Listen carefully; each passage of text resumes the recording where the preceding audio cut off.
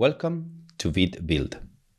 We are going to dive into the inner workings of the Vite build process to understand how it bundles and optimizes your application for production. First, a bit about me. I'm Matias Capeletto, also known as Patak. I'm a Vite core team member and a Vitest core team member, which is a new Vite native Jest alternative. I'm also a Vue team member, and I now join the StackBlitz team to work full time on Vite and its ecosystem. So, why Vite? When talking about Vite, we normally focus on its dev server. Vite doesn't bundle your app during dev, so the server starts instantly. We transform your modules on demand over native ESM as the browser requests them. And doing so, it offers lightning fast hot module replacement that stay fast regardless of the app size. You also get out-of-the-box support for TypeScript, JSX, PostCSS, CSS modules, and more, and a powerful Rollup-based plugin API to extend it. For example, to use Vue single file components or other frameworks. But this is half of the story. Vite also shines when building your application for production, and this will be the focus of the talk. First, let's try it out. You can go to vite.new slash vue in your browser, and this will open a StackBlitz playground that is going to fork the Vue starter in the Vite repo. You can see that we can play with the application before we can finish explaining what is going on. StackBlitz is running Node in the browser using web containers, giving us a experience that is almost the same as our local environment. The install size of Vite is really small, so the install went really fast. And from there, the Vite server started right away as there is no need for bundle your application. The browser requested the index.html, encounter a script type module, and kept requesting the modules of your application. We can go to this first module and you can see that there is an import for app.vue. This is a Vue single file component and the browser doesn't know how to process it. But in the Vite config.js, we have configured the plugin Vite.js plugin vue. And this lets Vite eh, understand single file components and give the browser the JS and CSS that it understands. Let's go to hello world.vue and modify it so we can see hot module replacement kick in.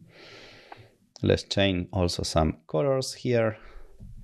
And you can see that as soon as we save, the change is reproduced instantly on the other side the count is also maintained, the state is preserved. And this fast feedback loop is almost the same as the one you get when modifying something with the browser dev tools. And it's incredible to work like this during development. Let's close now the dev server. And when you're ready, ready to deploy your application, you use Vite build to bundle your app for production. Vite build uses internally Rollup to bundle all the assets of your application. By default, they are in the dist folder. Here you can see in the assets that an index.js was generated and then is now optimized and minified. And the same for the CSS. The same for goes for an image that was imported and a vendor chunk was splitted by default in the output index HTML, we can see that we are now importing the index script. And this script is going to import the vendor chunk. So to avoid the loading waterfall, we are preloading it here right away. And we are also linking the CSS stylesheet. All these files are hashed so there can be a strongly cached in the browser. If we want to check the bundled application, we can call vite preview that is going to load in localhost directly the application to, to play with. And this is not using the vite dev server, but directly the optimized application. Okay, let's move on. So Vite at build time is an opinionated rollup setup. It gives you good default for the most common cases and configures rollup with feature plugins like support for PostCSS, JSON imports, WASM, workers, and adds plugin to optimize your code like minification using ESBuild, code splitting, assets preloading, etc. The build process starts with the index.html entry point, as we saw, which is parsed to extract the scripts and linked CSS or inline style sheets. The script tags or imports could point to TypeScript files or other file types, as long as Vite knows how to transpile them, or it is, it is extended with user plugins to deal with them, as we saw with the Vue plugin. The same goes with the CSS. Both linked or inlined, they will be extracted and processed by the pipeline. Once the JS and CSS assets are processed by the pipeline and bundled, eh, then each chunk is minified and we have to replace the original script and link tags with them to create the output index.html file for our app. As we saw, Vite hashes these files, allowing strong caching in the browser. And also a vendor chunk is being generated and preload. The same goes for CSS styles that will be bundled and optimized accordingly. Vite supports code splitting, both for JS and CSS assets also by default. When a dynamic import is encountered, an async JS chunk and a CSS chunk are generated for it. The import call is then instrumented in the importer chunk to preload its dependencies and wait for the corresponding CSS stylesheet. Other assets like images, videos, WASM that are imported are also processed by the build pipeline. Let's go through the internal plugins pipeline to get a glimpse on what Vite does during build. The Rollup plugins API allows Vite to support most out-of-the-box features and optimization as independent plugins. Vite uses an extended version of this plugin API that work both in dev and build, introducing new Vite-specific hooks for example, to extend the dev server or augment the hot module replacement boundaries. Most plugins from the Rollup ecosystem are compatible with Vite. During build, we are dealing with standard Rollup plugins, since the Vite dev server is not on the table. The most typical hooks that you will encounter when you are creating one are Resolve ID, which lets you resolve an import path. For example, we need to resolve package names to its location in node modules. The load hook let us get the code for a certain ID and is useful to implement virtual modules, for example. These are modules that doesn't exist in the file system, but we load them on the fly. We generate the code for them on the fly. The transform hook gives us the opportunity to transpile the code of a module, for example, to strip the types, info, or compile JSX. And with the render chunk hook, we can transpile each bundle chunk, for example, minifying it with ESBuild. The first plugin in the pipeline is the alias plugin. And this is the official Rollup plugin alias, and that as we saw most Rollup plugins are compatible, and several of them are used directly in the internal pipeline of Vite. This plugin lets user configure a map of aliases so common import paths can be more manageable. A good use case for the resolve ID hook. For example, like if there is a components alias that is resolved to this folder, the user will be able to write and import no matter where it is in the in the folder tree always as slash components slash button.vue and the plugin alias is going to transpile it to the proper location. Then we have the user pre plugins. This is the first batch of user plugins. In Vite, there is a single list of plugins, but an enforced flag lets users decide where this plugin should be inserted in the pipeline. The Vite Resolve plugin implements the resolution logic for path, like node package resolution. The Vite CSS plugin gives us support for CSS modules, PostCSS, and other CSS preprocessors. The Vite ES Build plugin transpiles JSS sources, stripping types, and compiling JSX using ES Build.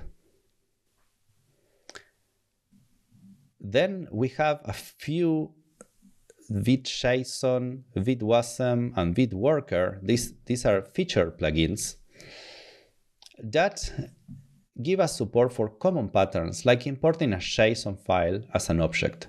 Here we can see that we can even import a root field of the JSON as a named export. And this helps with tree shaking. Then we have the Vite Asset plugin that implements the handling for imported assets. For example, an image can be imported, resulted in an URL that can be used as is in the app code and Vite will encode the image as a base64 URL below a configurable size limit as an optimization out of the box.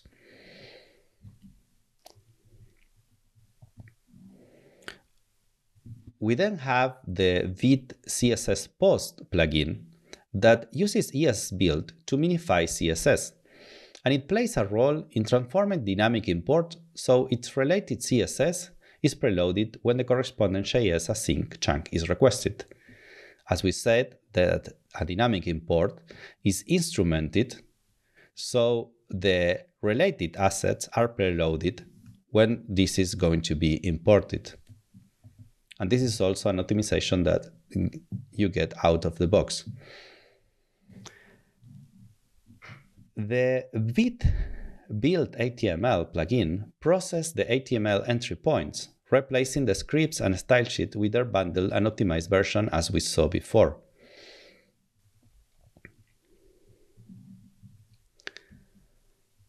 There are a few plugins that allows handling of dynamic imports, import meta URL, and glob imports. For example, import meta glob let us import a set of modules from the file system using a glob pattern and this syntax is supported by the Vite build import analysis plugin, which expanded as a list of regular imports. So we can see that here we are requesting all the JS file in the dir folder.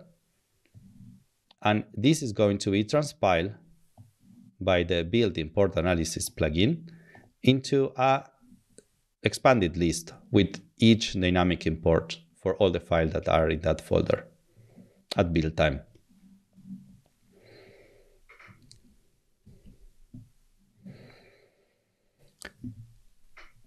The Vite ESBuild transpile plugin leverages ESBuild to compile JS to the configured targets and minify the bundle code. A few minor versions ago, Vite used terser for minification by default. But once ESBuild minification became mature enough, it was switched as a default, greatly speeding up the build process. And this is also important in the philosophy of Vite, because Vite will use the best tool that is available at the time and will switch internal tools as the, the ecosystem evolves.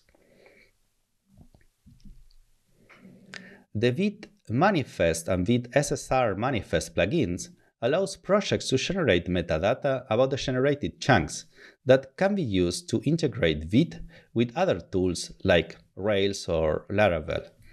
For example, the Vite manifest plugin generates a manifest.json file that contains a mapping of non-hashed asset file names to their hashed versions, which can then be used by a server framework to render the correct asset links.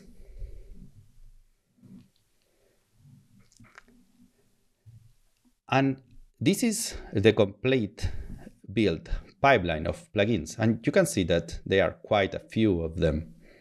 If we will use plain rollup, we will have to configure it with an equivalent pipeline if we want to support all the features and optimization that Vite offers. We can see that even without the Vite dev server on the table, Vite has a lot of value as an, as an opinionated and complete build tool. Because you get this out of the box.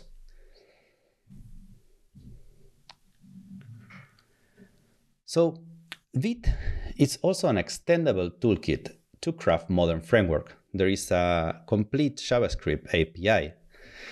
As we saw, there is instant feedback loop during dev, serving unbundled ESM modules, out-of-the-box support for TypeScript, JSX, CSS module, PostCSS, and more, so frameworks don't need to care about how to support this. There is a flexible plugin system tapping into and augmenting the rollup ecosystem. And this also lets framework use the plugins that all the ecosystem is working on and also develop their own for their eh, specific needs. There is a shared low-level SSR API that they can share. And out-of-the-box support for optimized build as we saw using Rollup. And if needed, there can be support for all browsers using Vite.js plugin legacy. So this ended up in an explosion of projects using Vite. First, the Vite core team maintains plugins for Vue and React, and the teams of Svelte, Preact, Solid, Marko, between others UI frameworks, provide Polish's official plugin for each of them. There is also a vibrant ecosystem of plugins, and a complete list is maintained at Awesome Vite. You can get plugins for PWA or even to help in debugging. And a big part of Vite's success is due to it being chosen by modern app frameworks like SvelteKit, Nuxt3, Hydrogen, Astro, Solid Start, just to name a few. And that is all. You can continue digging deeper into how Vite build is implemented at patak.dev slash vite slash build.html. And you have the documentation at vite.js.dev or Vite core repo and the Discord chat at chat.vite.js.dev and Twitter handle is vite.js uh, also. And if you are interested in build tools and DX, you should join the Vite community and collaborate with us. We have a very welcoming community and a lot of collaborators working together to improve Vite core.